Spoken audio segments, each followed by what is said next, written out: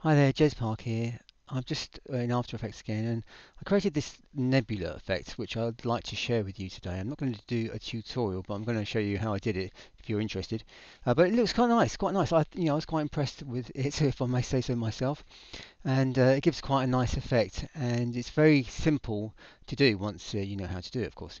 And uh, so let me show you how I did it. I'm not actually going to do it, I'm just going to show you what I did started off with there are three kind of light effects here one here one around here and one here and I'll show them in a moment.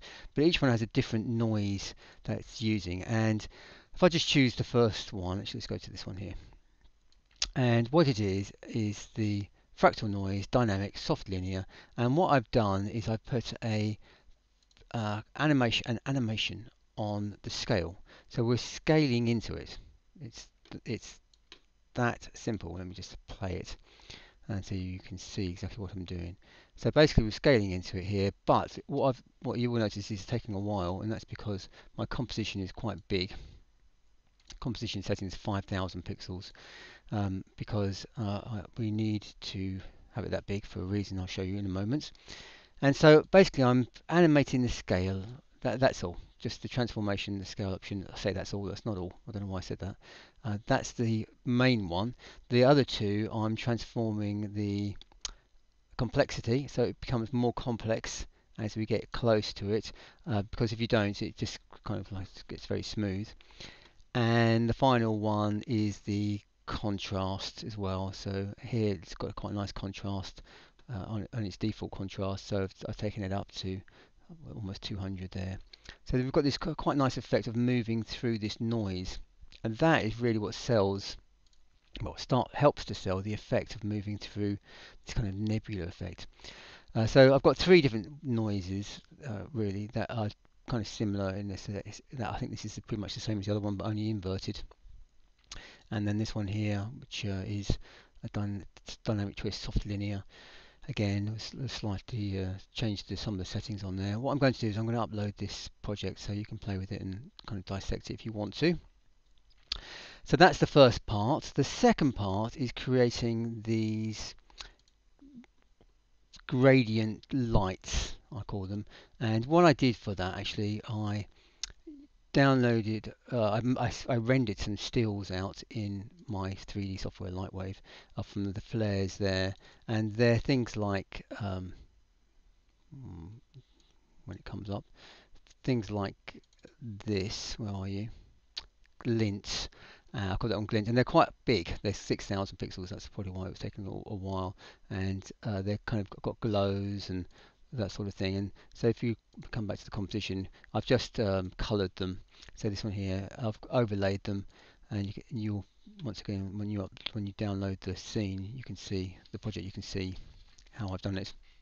I've got three of them. So I've got a, what I've called a gradient yellow here.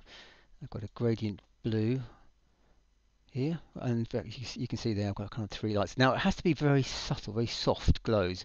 But if it isn't if there's kind of harsh flares it doesn't work so well. Uh, and this one here is kind of like a line uh, which um, works also works quite well. And what I've then done is taken them into a composition and I've screened each one. And here's the trick. Displacement map with the noise in question. So if I choose for example the yellow one here this is it as it was in its basic composition. I've added a displacement map and I'm using the noise which one am I using there? Noise basic noise one. And it gives you this quite nice movement through uh, as if you're traveling through the nebula.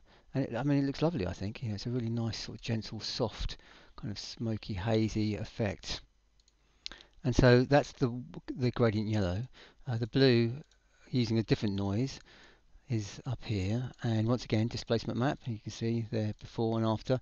And I'm just you can change the parameters you know just at your heart's content I guess really. And then the final one is this what I've called this gradient streak down here.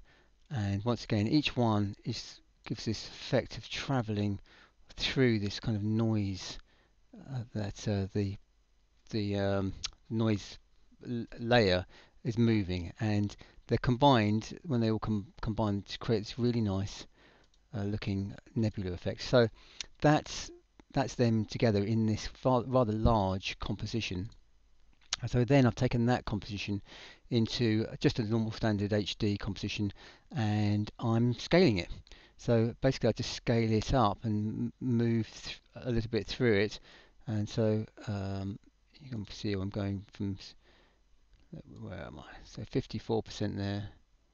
Actually not scaling that much, just moving through it. And probably could do with a bit more scale on that one to move through. But the combination of the two uh, gives this this rather nice effect of moving through a star field. So um, I will upload that and you can download that and uh, have a play and create your own and, and hopefully do some nice stuff with it. Uh, there you go. Thanks for listening. Take care. God bless. Bye.